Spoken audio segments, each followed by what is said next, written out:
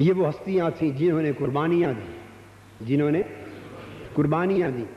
और फिर वो कुर्बानी नौ बरस हुजूर के अब्द में रही। अट्ठारह बरस उम्र थी जब हुजूर का विशाल हो गया और आप बेवा हो गए। अट्ठारह बरस की उम्र मुबारक में बेवा हो गई, हुजूर का विशाल हो गया। और फिर शरीयत इस्लामिया के एक तिहाई या निस के करीब मसाइल उम्मत को हज़रत आयशा सिद्दीका ने आता फरमा हज़रत अबू बकर के दौर में फतवा देती, हज़रत उमर के दौर में फतवा देती, हज़रत उस्मान के दौर में फतवा देती, हज़रत अली के दौर में फतवा देती, मुफ्ती सहाबा थी। हज़रत आयशा सदीका रज़ी अल्लाह तारा आए सहाबा कराम शरीयत पर फतवा हज़रत आयशा सदीका रज़ी अल्लाह ताला से तरफ़ अंदाज़ा और हज़ार हा अहादीस बुखारी और मुस्लिम में आपसे मरवी हुई। और आका ने फरमाया, आयशा निसफ दीन है। आधा दीन इस्लाम तो मेरी आयशा है। हमारा तवक्कुल उन हस्तियों पर, तवक्कुल इन हस्तियों पर वो आयशा कैसे फरमाती हैं कि खुदा की कसम, रब्त कैसा? फरमाती हैं, एक एक महीना बीत जाता, मेरे घर के चूल्हे में आग न जलती।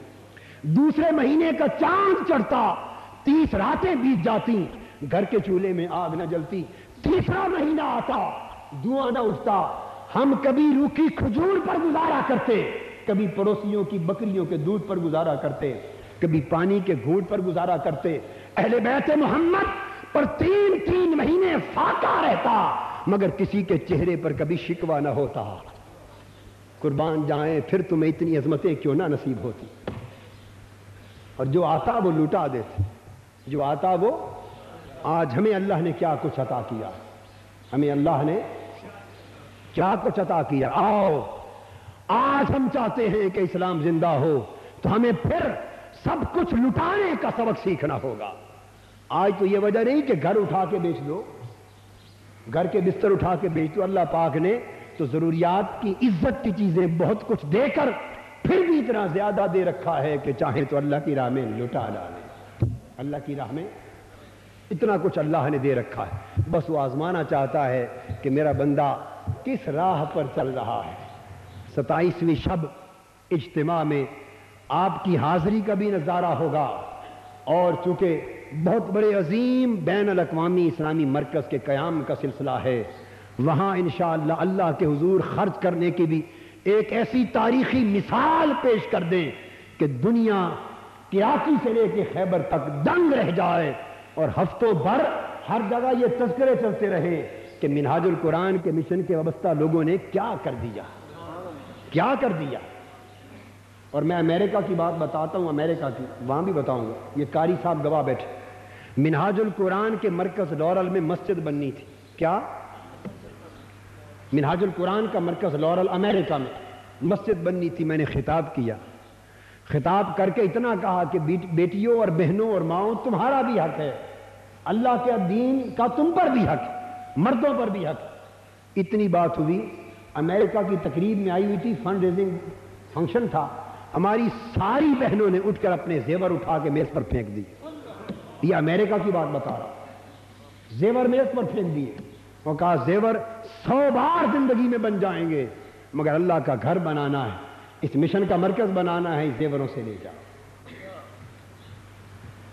फिर उनके शोहर उठे, उन्होंने कहा, इन जेवरों की हमारी बीबियाँ ये शिकवा ना करें कि हम जेवर दे के आ गई। जो जो कीमत बनती है, नकद उन्होंने अदा कर दी और जेवर लेके बीबियों को दे दिए कीमतें अदा कर गए। कई लाख रुपए करोड़ों के हिसाब से हो गए। वो मस्जिद अमेरिका में अलहमदिल्ला वो छतों को पहुँच चुकी है। अजीम शान मस्जिद बन गई। अल्लाह पाक अगर तोफीक दे तो इंसान का कुछ भी नहीं बिगड़ता है। ये जुम्मतुलविदा की गुफ्तु करके एक आखिरी बात तालीम के लिए अर्ज़ करना चाहता हूँ कि मिनहाजुल अफकार, अखलाकी, रूहानी और अमली तरबियत के लिए उसकी तीसरी जल्द छप गई है, ये मेरे हाथ में क्या? ये जल्द सिखाती है कि रोना कैसे आए? क्या? रोना धोना कैसे आए? रातों को जागना कैसे आए? इश्क की चिंगारी कैसे चले दर्द सोज कैसे पैदा हो? अल्लाह से ताल्लुक़ कैसे जुड़े? हुजूर से प्यार कैसे पैदा हो? मन का मैल कुचैल कैसे धुले? अंदर का इंसान किस तरह ज़िंदा हो? ये अखलाकी रूहानी तरबियत का निसाब है जो मिनहाजुल कुरान के मिशन के लिए मैंने तैयार किया है। इसकी एक जल्द अव्वल है, जल्द वो पहली ख़त्म हो चुकी है, मुमकिन है कुछ नुस्खे पड़े हों। मगर ये कल छप के आई है जल्द सोम। जल्द दोम भी आ रही है मार्केट से। आप में से हर शख्स के लिए ज़रूरी, हर शख्स के लिए कि जो इस्तात रखे और पड़ा हुआ हो, वो उठते ही स्टॉल से ये जल्द खरीद ले। ताकि कल जितनी छप के आई है, इनका स्टॉल खत्म हो जाए और नए एडिशन का कल ही इनको ऑर्डर देना पड़ जाए। और आपको पता है कि मेरे कहने में तो हर्ज कोई नहीं, क्योंकि मैं तो कमीशन नहीं लिया करता ना। पता है या नहीं पता? क्या लिया करता हूँ किताबों से कमीशन इसकी इनकम में से कोई हिस्सा होता है मेरा? बोलिए। मैंने तो पहले दिन से आज के दिन तक अपनी किताबों के स्टों के हिस्से अपने ऊपर हराम कर रखे। मेरा कुछ नहीं है। ना ये किताब मेरी, ना हिस्सा मेरा। ये किताब भी अल्लाह रसूल और मुस्तफ़ा की मिल गई है तो हिस्सा भी उसी का। अल्लाह रसूल कमीशन का। मगर आपकी नौकरी करता हूँ, आपकी खिदमत करता हूँ, हुजूर की उम्मत समझकर आपकी जूतियाँ और जोड़े सीधे करता हूँ। ताकि ये समझ जाएँ तो शायद आपके सुफैल मेरी बख्शिश का भी सामान हो जाए। तो ये मिनहाजुल अफकार दोम जाते हुए ख़रीद कर ले जाएँ। हर फर्द ले जाए। और ख़त्म हो जाएँ तो ऑर्डर प्रेस करके जाएँ। जिल्द अव्वल के भी ऑर्डर दें, मगर वो फिक्री नजरियाती मौजू पर है। ये अखलाकी रूहानी और अमली मौजू पर है।